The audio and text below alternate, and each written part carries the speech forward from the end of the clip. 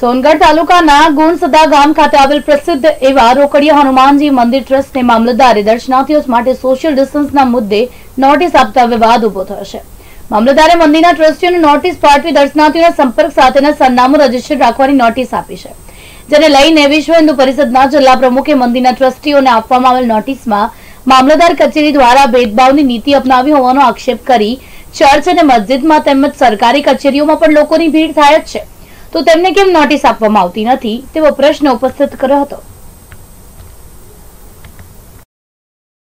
હાલમાં આપના સાહેબ શ્રી રજા પર છે.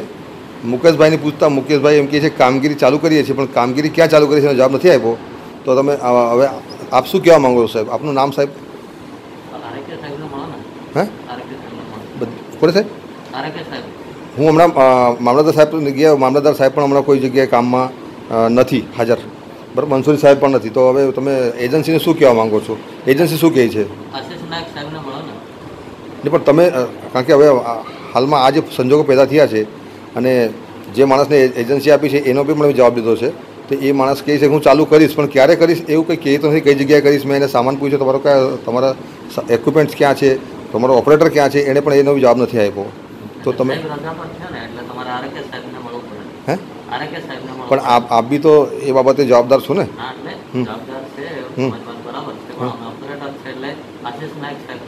હા આપનું નામ સાહેબ? હે?